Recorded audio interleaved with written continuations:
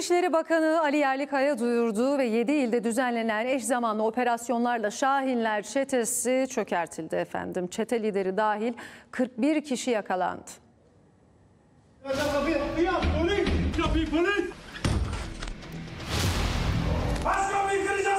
Bizler ülkemizin huzuru için varız.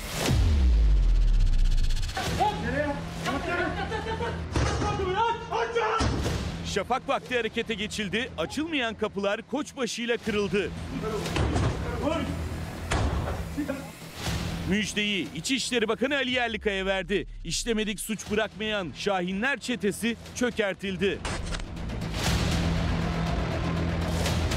600 bin personeli ile İçişleri Bakanlığı ailemiz hep birlikte bu hedef için çalışıyor. Tüm hainler ve suç odaklarıyla amansız bir şekilde mücadele ediyoruz. 7 ilde eş zamanlı düzenlenen operasyonlarda Şahinlerden 41 kişi yakalandı. Çetenin elebaşı Mehmet Şahin de aralarındaydı. İçişleri Bakanı Ali Yerlikaya organize suç örgütlerinin nefeslerini keseceğiz dedi. Tıpkı terör, uyuşturucu ve kaçak göçmenlerle mücadelede olduğu gibi. son terörist etkisiz hale getirilinceye kadar terörle mücadelemiz amansız bir şekilde.